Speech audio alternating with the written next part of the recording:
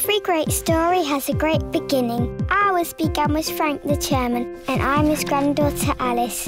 In 1974, frustrated by a lack of footwear for his favourite game, squash, Frank was inspired to design his own. He named his creation the squash and it became a global success.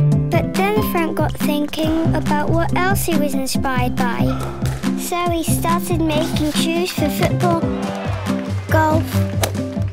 tennis. Soon enough, Hi-Tec became a worldwide sports brand. What followed was an inspiring journey from coast to coast that spanned the next 40 years. On rough terrain, trail runners carved out new paths. Up mountains, our best-selling altitude boots made epic climbs feel like walks in the park. In the city, super-like Zuuks made the streets their playgrounds. And up the coast, Rio Aqua shoes and sandals made beaches their homes.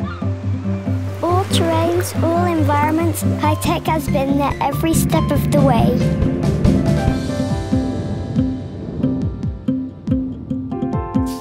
But our story doesn't end there.